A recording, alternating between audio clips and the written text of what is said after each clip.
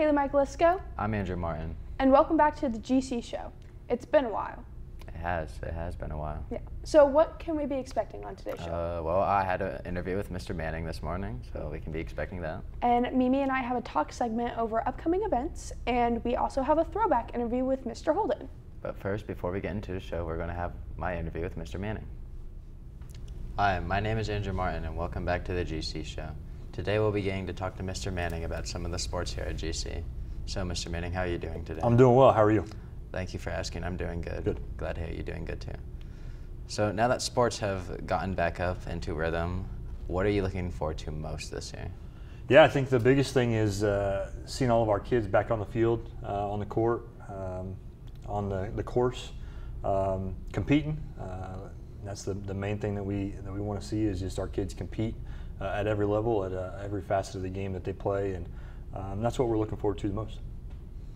The girls' golf team had some very noticeable seniors last year. They did very good. What type of results do you think that they'll achieve with some of the new younger talent on the team? Yeah, this is going to be a tough year for them. Um, they've got some girls that are trying to step in and, and fill some pretty big shoes. Um, you know, they're off to a, a, bit of a rough start, um, but as they go throughout the season, I think um, Coach Spencer is just going to continue to coach them up and and look for growth in their game, uh, which is, is what you need to, to see. Um, and so I hope they, they take that every day that they, they go out and they try to compete, um, try to get them make themselves better um, during practice, uh, during their competitions, um, and worry about the, the scores later. So uh, I think that's the biggest thing is just seeing that growth and that development out of our, our young team. The volleyball team has had an extraordinary start, being 8 and 0 so far. As they go into conference play, like they'll play Delta tomorrow, what are some of your thoughts on the team and the, the new coach? Yeah, I think the biggest thing is it just looks like they're having a lot of fun. Um, and obviously, when you win, you have fun. Uh, and so, uh, as the as the schedule gets a little tougher and tougher, uh, it'll be interesting to see how they how they handle some adversity. Um, you know, they've had had some pretty good matches up to this point, um, and we look forward to that continuing. Uh, obviously, we're starting our, our conference schedule tomorrow, um, hosting Delta, uh, and so we'll we'll see how that how that goes. But uh, very good start. Uh, it's an awesome start for a first year head coach uh, and Coach Wyatt. So we're, we're excited about that and we look forward to that continuing. Men's and women's soccer have both had rough starts to their season, but they're looking to improve as it goes on. As both are about to, play, about to face Pendleton this week, what do you think will happen going forward into the season? Yeah, I tell you, both both of our, our soccer teams have just juggernaut schedules to open their season. Um, sorry about that. You're fine. Um, and it's uh, you know the the, the non-conference schedule that they play early on is, is very difficult. Um, they're playing you know top tier teams. Yeah. Um, the pace of the game is uh, is quicker, uh, and when you graduate, as many as our boys' side has graduated, uh, and you look for some young girls to step up on the girls' side, um, that pace of play and that uh, um, that momentum of the game uh, is very difficult to to get used to. And so early on, they play some some very good teams. Um, and so as we get into our season, into our conference season, hopefully we were just talking about it in our office. Hopefully the game slows down a little bit for those players, and they, they're able to catch up a little bit, uh, and we see a little bit more competitive um, games out of them. So I guess that's kind of what we're looking forward to. Um, we'll see how it how it plays out with uh, Pendleton this week um, as they as they continue their conference uh, schedule. So the girls and boys cross country team are also off to great starts as well. The last year's team was very good with noticeable runners as Griffin Wheeler. Do you think that they can repeat the same results that they had last year? Yeah, I think uh, I think that's the goal, right? Uh, is to, to to maintain that momentum uh, from year to year, and I think Coach Smith and Coach Burton have their have their teams moving in the right direction. Um, and I think they've got some kids that have, have already shown that they're going to step up and fill some of those shoes that, that graduated um, and challenge themselves uh, to continue to improve um, as these events uh, continue to tick by. Um, you know, we had with Carter Crouch um, over the weekend as, as our county champion, um, and those types of things. Like he's already stepping in and, and taking that taking that role on. So. Um, you know, I think we had a couple kids that were out because of SAT or, or so and so forth, but uh, still a good showing uh, on Saturday, and I think they're going to continue to to look forward to that that growth and that development um, as their as their meets continue to to pass by. Yeah. So the boys, uh, the boys tennis team, my bad, are also off to an amazing start, six and zero. They are v- looking very competitive, competitive this year. They've swept every team that they've played so far as well. What do you think has made them so competitive and hard to beat? Yeah, I think the biggest thing for them is depth. Um, you know, from their one through three singles and their one and two doubles, they've they've just got guys that can play. And you know, when you continue to build a program like Coach Turpin has over the course of the last several years, um, you're going to get that depth eventually. Uh, and I think that's the biggest thing that they're that they're noticing. Um, you know, like like you said, they've they've swept every uh, every school that they've played so far, and so um, again, you know, we'll see how that continues. Um, hosting Delta tomorrow night, um, always a, a, tough challenge um, within the HHC, and so uh, we'll see how how they continue to grow and develop uh, and play once we get into our our conference season. So, for the first time since 2017, Operation Football is coming back to Greenfield Central. Knowing that the team has had two dominating victories, what are some of your thoughts going into this very hyped Mount Vernon game at home? Yeah, it's a big. It's going to be a big night. Uh, it's going to be a big day in general. You know, we're going to get here bright and early. We hope we hope we have a, a lot of you join us. Um, you know, 5:45 Friday morning, we'll be out at the football field, lights on, uh, music pumping, and and trying to get some enthusiasm going there. We've got donuts we're going to bring in. We've got a, a coffee truck that's going to come in so that uh, you can buy your favorite uh, type of coffee. Um, we're going to give away some rally towels. We're going to give away some um, some gift cards. So you definitely want to be there, want to be a part of it. Uh, bright and early Friday morning, 5:45, and then obviously they're going to come back for the game on, on Friday night. I think that's uh, they, they start their their stuff at 6 p.m. Uh, so we look forward to our student section being there and uh, bright and early, and um, and then again in the evening. Uh, but as again as we move into our conference schedule. Um, you know, we've we've had uh, we've had two really good games, seen a lot of good things. Um, I know Coach Nolting will probably say there's a lot of things that need to be fixed, um, as all good coaches would do. Um, and we just look forward to, to the challenge of, of, facing Mount Vernon on Friday night. Across all of the sports, have you noticed anybody that stood out in their respective sport?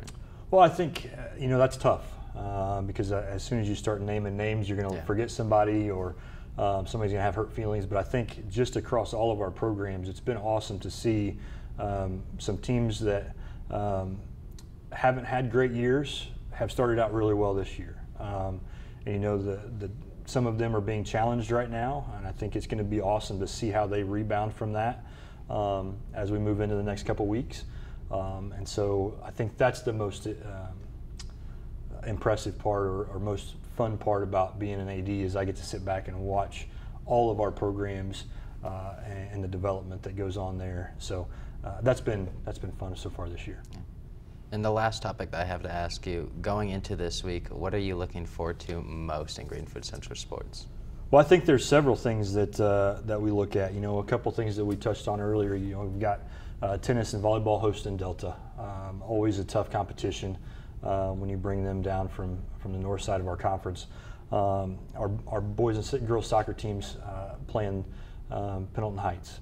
Um, you know, our girls golf teams playing in the, in the county tournament tomorrow night. Um, you know, cross country, their season continues. They've got a, you know, um, big, big meets coming up this, this weekend. Uh, and then obviously the, the football game on, on Friday night. So uh, it's a big week. Uh, it's going to be a busy week. We've got a lot of things going on um, and we look forward to it. Um, we hope that uh, everybody that's watching will be there and, and supporting our student athletes.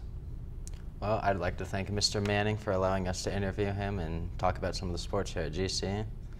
Thank you, everybody, for watching.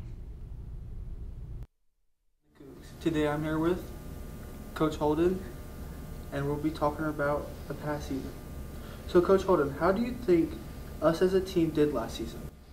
Uh, so I've been here a long time almost 20 years.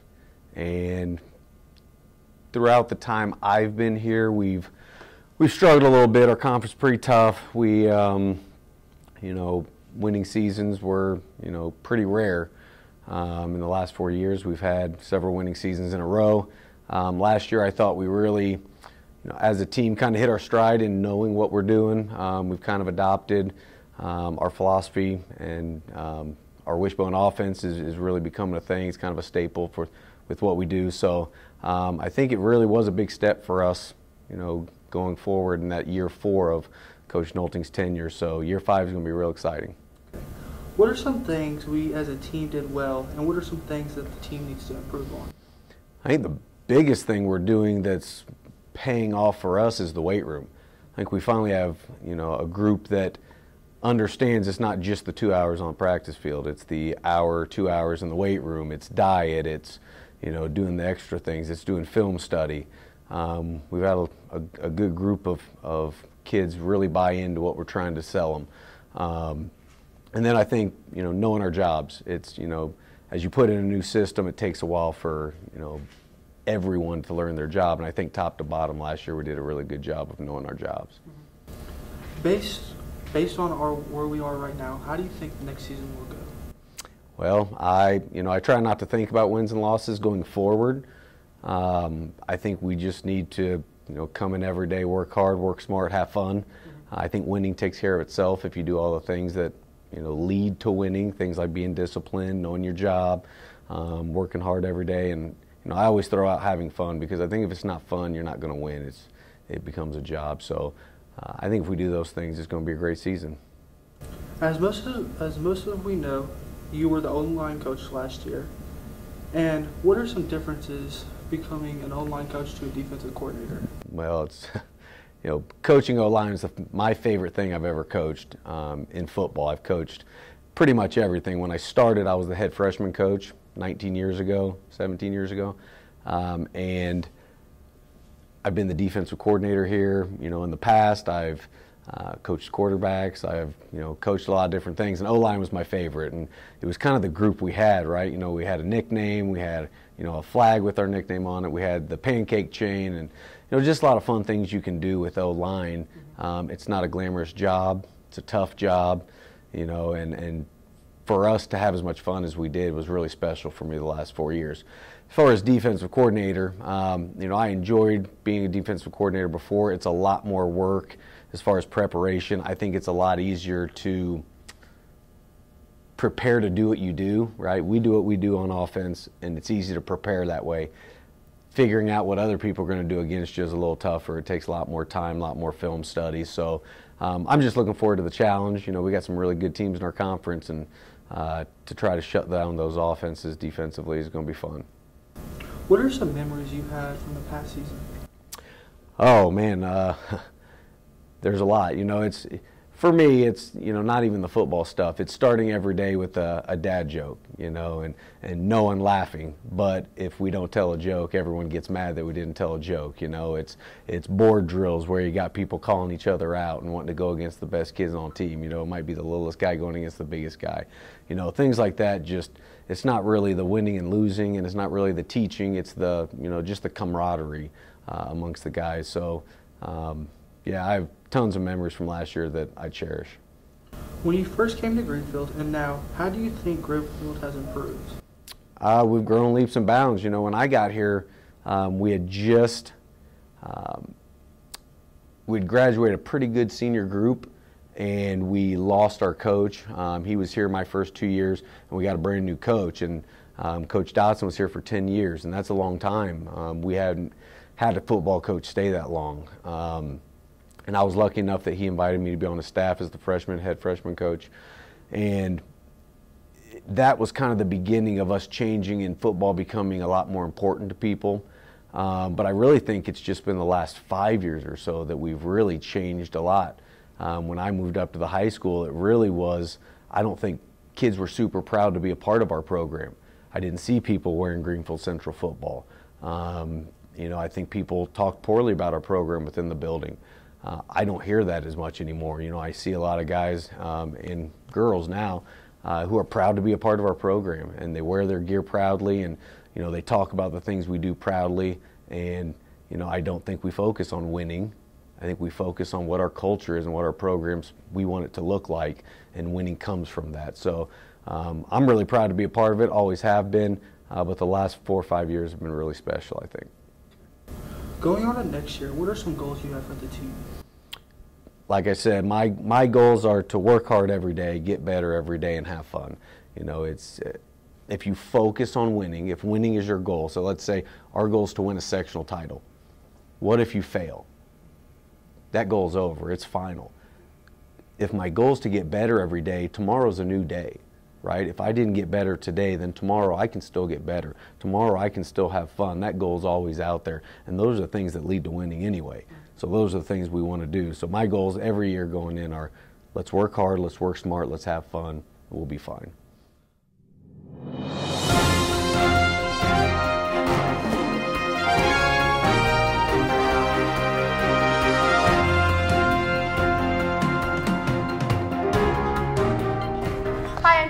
I'm Mimi. and today we're going to be talking about upcoming school events. So, what do we have in store? Well, this Friday we have Operation Football, which is where our student sections compete to be the best in state. Um, there will be coffee trucks, and isn't there donuts? There's donuts. So, yeah, we're going to all be on the field at 5:45 in the morning. Mm, And I'm, I, we deserve those trucks, to be honest, because who honestly is coming to school before six? Well, you know, if you're really a dedicated cougar, you'll be there. um, let's see. We have the homecom- homecomings coming up. Um, we're going to be playing Shelbyville, and then the dance is that Saturday, which I'm excited for. Um, are you excited for that? Um, I don't know if I'm gonna be going. Oh, okay. So, yeah. I mean, I'm happy for everybody else. It looks like everybody else is super excited to like wear their new stuff and go Yes. To homecoming. So I'm excited for them. But me personally, I don't think I'm gonna go. So this Friday we have um, we're playing Mount Vernon, and it's a home game, and the theme is USA. Are you going to be going to that? Um, I mean, if my friends go, I'll go. Cause other than that, there's no point in going by yourself to a football game. Yes, um, I'm very excited. Um, during halftime, the band always plays, and we have a really great band. It's really good. yes, they went to uh, state last year and they got third in state, which is exciting. That's super cool for us. Um, today we have the comedy sports meeting after school. It's the call out meeting, and so if you're interested, you just go and they tell you what it's about and when auditions are. So, what exactly is comedy sports? Comedy Sports is a competitive improv group. So basically, we go to different schools and we basically just try to make people laugh um, and get the most points on the applausometer. And we win with a super, or we always end, if we win, we get a super cool trophy, which is normally like something stupid, like a tiny Christmas tree. like it's never an actual trophy. I can tell from experience that you guys are super funny. Oh. Like it's so funny. I was in tears last year for both like both games I went to. Yeah. There's a lot during the year and I unfortunately only got to go to two, but the both of them were just so funny. Yeah, our comedy sports is actually I, I think it's pretty good. Um, I'm probably biased because I'm in it, but it was, it was pretty good. We have actually some really good sports teams. So like our football team, we've won both games this year, and then volleyball's been having a pretty good season, and so is soccer. And tennis had two matches last week. So yeah, no, we have some pretty good teams this year. I think each year our teams just get better. Yeah, and I think the uh, like as much as we talk down on like incoming freshmen, I do think that they like they help a lot. Oh, when yeah. They, when they like join in and take things seriously, I think. We have a lot of um, really good football players coming in from the freshman, um, the freshman class. So I definitely see some improvement in our football team. It's pretty good. Our football team is pretty good. so I'm excited. Um, theater is um, currently in the works with our new production of Rumors by Neil Simon. hmm Our first official rehearsal is today. Last week we just did a bunch of like read throughs, and I can tell you now that just by seeing the read throughs, it's good. It's funny. Oh yeah. Like our actors really know how to like get into character. Our cast it's like was crazy. really good. Right. The chemistry between a lot of um, it basically it's about four couples in this mystery. So with that, the couples are really they all have really good chemistry. Yeah. Yeah. And they're really funny. They know how to bounce off each other. Mhm. And this crew has been working together for quite some time now, so it's like it's you can really see Yeah. that like we have a bond in this show. Even the freshmen, like they've been roped in so quickly with like the upperclassmen. It's like it's really cute. It's. Yeah. it's nice. There wasn't a lot of freshmen um, like that joined theater. Um, at least not in like the acting part. There was a lot in the tech though, like a lot, a, a good lot, amount of freshmen yeah, a lot more tech. than the past few years. Yeah. Mhm. So that's really good, but um, I think it's easier to pull them in when there's not as many. I think we'll be getting a lot more within the next year though, because we are getting a new auditorium. So Plus, there's still um, the musical this year, um, which a lot of people join because they do sports throughout the year, and then and the year with the musical. So I think there will definitely be a lot more people joining. Um, I was surprised when it was not Beauty and the Beast, but I'm very excited about Hello Dolly. Hello Dolly, I think I think it really fits our like Yes. our range of people Yes. better than Beauty and the Beast. I think we'll start doing like the bigger shows like that in our new auditorium. I'm ex- I'm real excited for our new auditorium. it's gonna be so like high tech and like it's gonna Yeah. be super nice. I've heard some plans from some teachers I know, and our backdrop isn't going to be like a projector anymore. It's going to be a bunch of TV screens linked into one big like digital screen. Oh, that's super cool. Yeah, and they're going to move our booth from all the way in the back to right smack in the middle, so it's easier to like control everything. Oh, that's super cool. And I'm pretty sure our auditorium now is going to be like two floors. We haven't heard a lot about like backstage, um, like green room and that kind of stuff. So I'm excited to see that. I think we actually might get dressing rooms. Really? Maybe. That's super cool. You didn't hear that from me though. Okay. um, yeah, no, I, I think our definitely when we have the new auditorium, there's going to start being like shows like Beauty and the Beast Yeah, or like People are gonna think we're like serious now instead of like people will hold like I think the the plan for the auditorium is so it's open to the community as well. So we'll be having like children's theater. yes, dance competitions like for show choirs, um, and like people can hold stuff there. I think this new auditorium is going to benefit like everybody. Oh, Like, yeah, it's this auditorium is so cool looking. Like if you look it up on the internet and you just see like the building plan for it, it is mm-hmm. it's really cool. Yeah, it's definitely a, a good addition to our school. And that's all the time we have for this segment. Thank you for tuning in, and we hope to see you soon. I'm Mimi. And I'm Cailey, and that was the GC show.